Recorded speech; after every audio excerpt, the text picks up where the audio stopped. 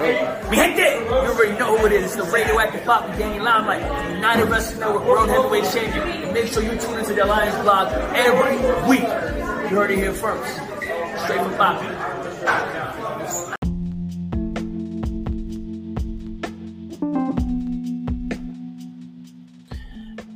A day after we lose a legend like Terry Funk, just the awfulest news that uh, any of us could have expected.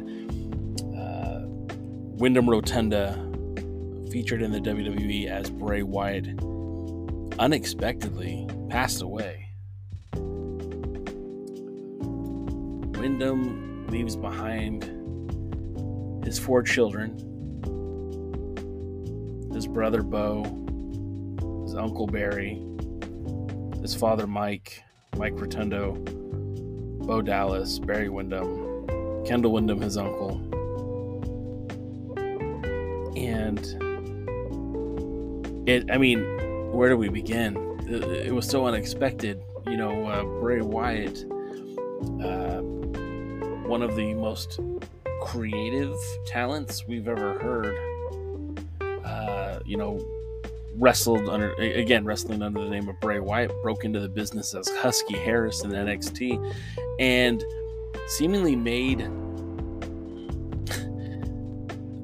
you know made the best out of a bad thing, and was able to work his way up from the NXT roster and and, and got himself into the WWE, got himself into the main event. Um, you know, through creativity, through his presence, through his his character. Now, Sean Ross Sapp of Fightful is reporting that uh, he was given permission, I'm assuming by the family of uh, Windham, of Rotunda, Bray Wyatt, that uh, that he got COVID, and he had been battling the effects of COVID for quite some time, um, but it, it exasperated a heart issue. Um, Sean Ross would continue to say that there was a lot of positive progress towards a return and his recovery. But unfortunately, today he suffered a heart attack and passed away. And this caught everyone by surprise because, you know, the last time we saw Bray Wyatt was wrestling LA Knight at WrestleMania.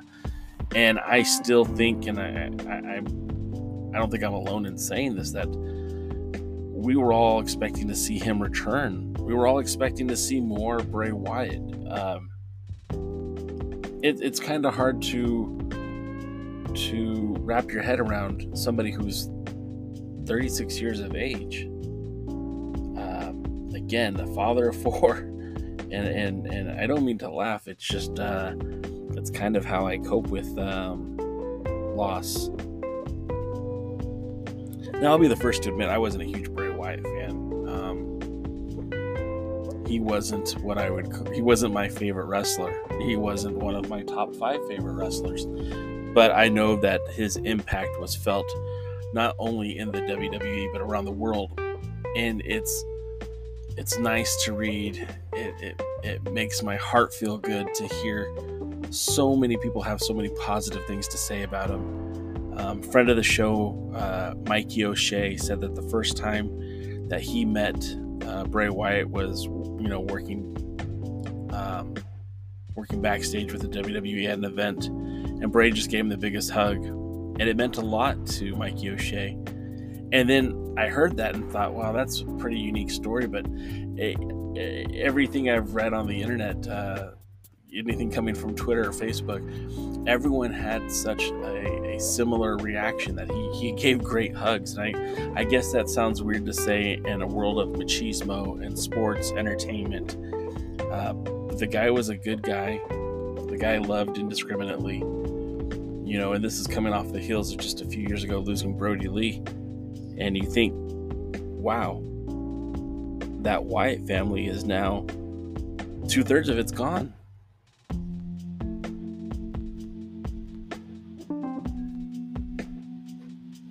I guess what kills me the most is that I'm a father, and knowing that Bray Wyatt passed away with young children, I, that's that's something that's hard to it's hard to wrap your head around, you know. Um, and a heart attack it just makes it even worse. And um, you know, when you look back at his career, when you look back at what Bray Wyatt did, I mean, there was such a overwhelming um, support for his group, the Wyatt family. Um, again, you know, when he when he stepped into the WWE, you know, they, they didn't want to give him that rotunda name. They didn't want him to be associated with that family name. So he was uh, Husky Harris. I remember seeing him in the early days in NXT, or I guess that was the WWE's uh, Florida Championship Wrestling. Um, and it just uh, it didn't work, obviously. Um,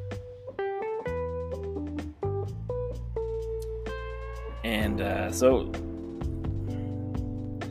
you know he was part of that invasion uh, the nexus invasion uh, that you know had given birth to uh, heath slater and david otunga and uh, you, you, know it just uh, i always kind of thought there would be more for i thought there'd be more for him and you know when he did get to the main roster the, the cape fear gimmick that they had for him uh, it, it, seemed like it was going somewhere for him.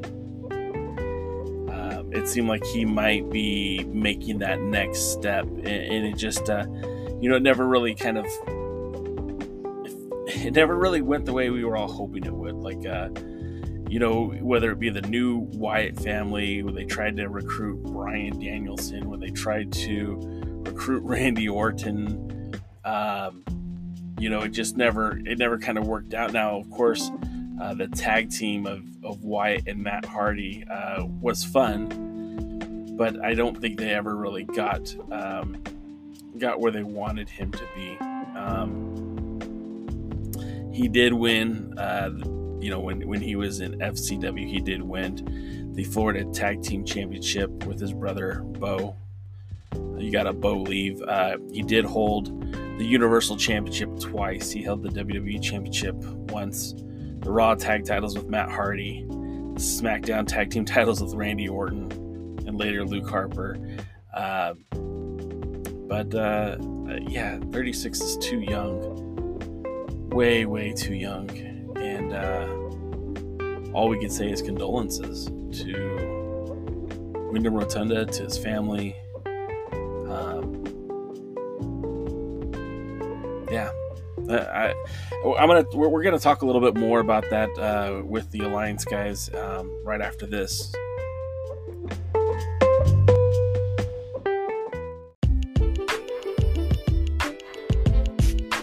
Times are tough now, guys, and it's no joke out here. That's why I'm very proud to be partnering with the Upside app. They're leveling the playing field, guys. They're giving you opportunities to earn cash back on, on purchases for groceries, purchases for gasoline, purchases for food. These are the things we all spend our money on all the time. I believe in Upside. I use Upside weekly. My lifetime earnings is over $408, and you too can be earning cash back on your Phillips, your groceries, or your eating out experiences just by signing up, and it's free. By using my invite code JASON75338, That's Jason 75 3338. You'll earn $5 cash back on your first fill up. Use the link in the video description or download the app, but make sure you use that invite code JASON 75 3338 and make money by using the Upside app. Uh, obviously, uh, you know, we, we are an NWA podcast first and foremost. Uh, we we talk about wrestling in general, but our our wheelhouse is the National Wrestling Alliance, the past, present, and future. Bray Wyatt wasn't really a part of that, but I think it would be insulting if we didn't at least acknowledge his passing. Um, obviously, the son uh, of you know uh, Mike Rotundo yeah, NWA royalty, Mike Rotundo, uh, the nephew of Barry Windham. I mean, uh, it, it, it's yeah, grandson of Blackjack Mulligan, right? Yeah, nephew of Kendall Windham. yeah, I, I probably wouldn't have reached Kendall, but I, I was gonna get to Blackjack Mulligan.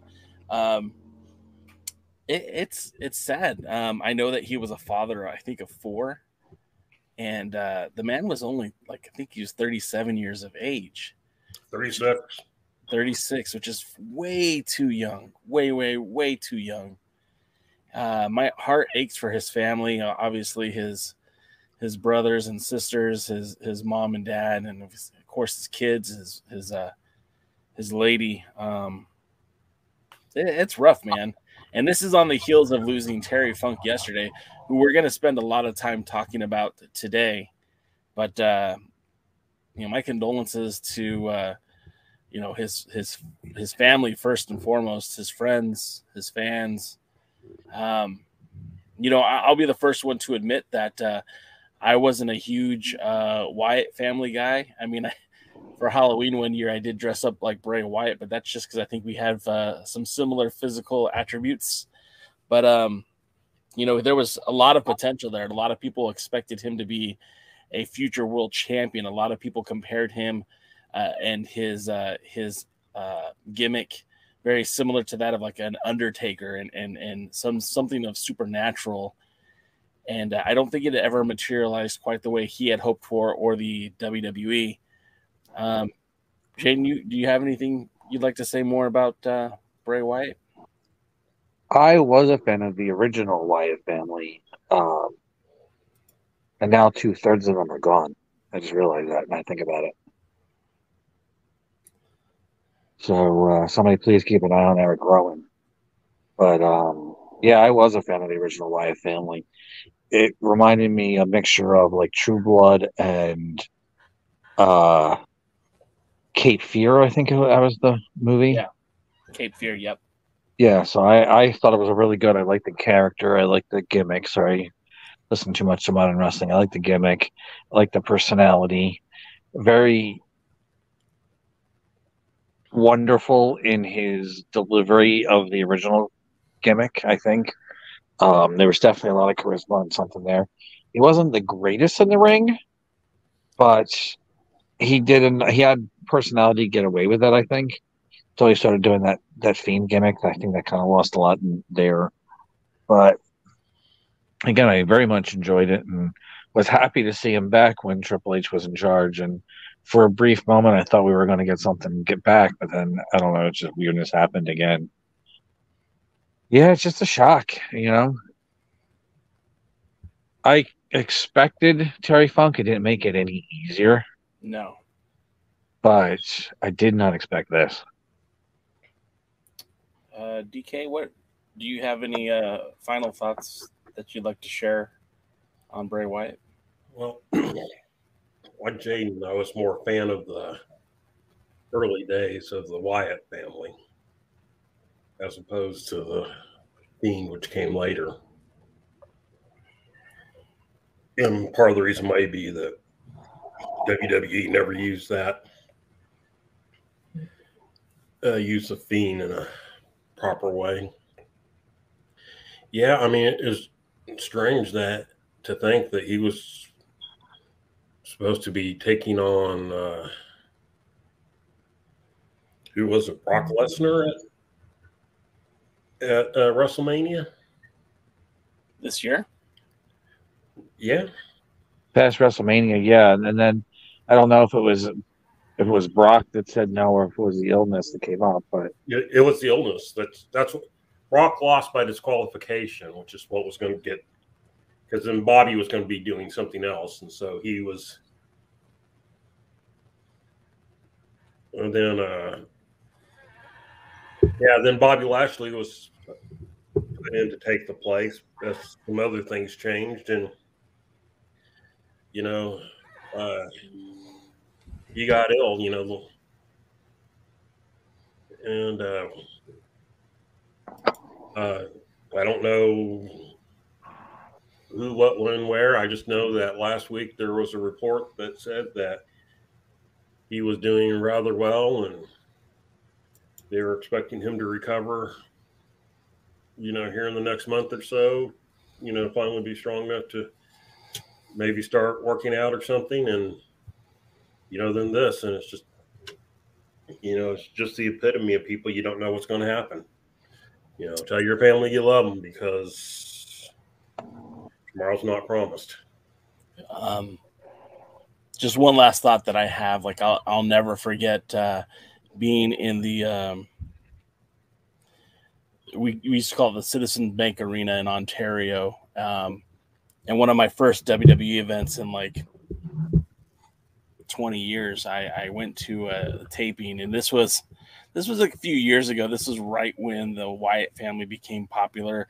I mean, this was uh, they were filming segments for the the uh, Saraya Knight movie, so this was uh, you know quite a while ago. But uh, you know when when the lights hit and that music blasted over the loudspeakers, every single person in that venue had their cell phones out, just waving them in the air, and it was such a uh, uh, haunting image.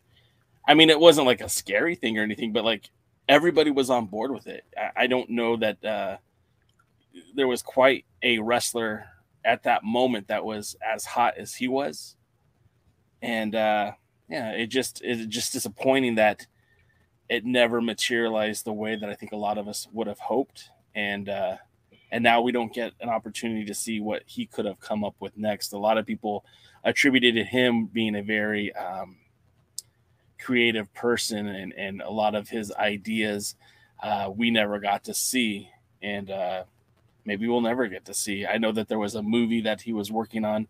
Um, I don't know if that even got finished or not. Do either of you know? I don't know. Unfortunately, creative also often translate to tortured. Yeah. So, you know, hopefully, if he was tortured, hopefully he's, you know, he's getting a modicum of rest now. I uh, I don't want to um, speculate on what might have happened. Uh, just as we know right now, uh, uh, a father, a son, a brother, a friend, a wrestler has passed away, and um, way, way, way too young. So um, I'll just wrap it up with condolences to Windham Rotunda and uh, condolences to his family.